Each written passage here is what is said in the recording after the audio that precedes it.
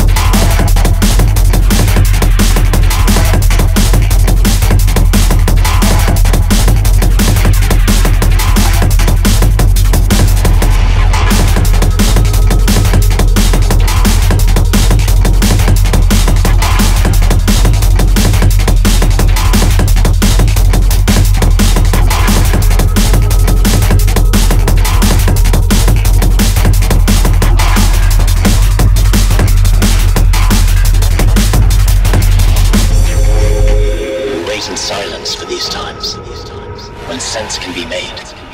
Each one of us is capable of both the dark and the light.